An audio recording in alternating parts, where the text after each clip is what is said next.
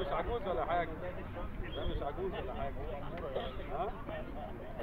لا بس ما شاء الله آه تعالى اقف بقى عشان يتصور مع الجهاز والميداليه آه, آه. كرسي معاك. تعالى يا باشا اتفضل.